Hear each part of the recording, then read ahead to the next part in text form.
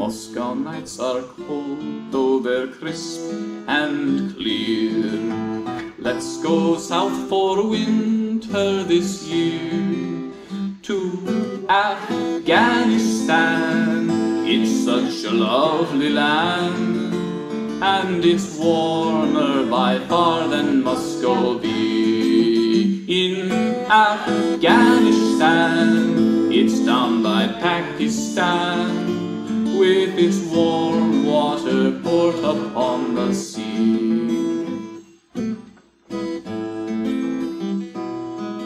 Exciting things are happening there every day, and every night a fireworks display.